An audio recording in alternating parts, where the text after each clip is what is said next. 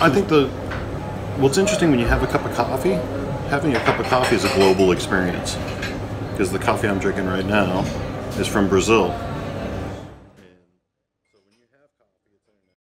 Markets and Loft is about diversity. We always have coffee specials. We have food from all over the world. We don't have a huge menu, but the menu we have is selections from different places. It's all about diversity. It's all about travel. It's all about interaction. One thing I would look at in companies is how long the employees stay with the company. It's a really great example of how the company is actually functioning. And in Loft, people stay.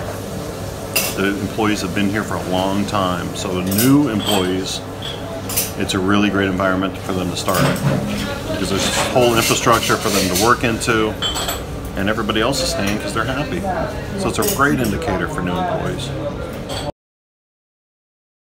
Um, they, can, they can be students, young people, uh, people who like to learn, who like to develop their skills, um, who like to know new ways of doing things, um, and people who like to be with a brand that grows.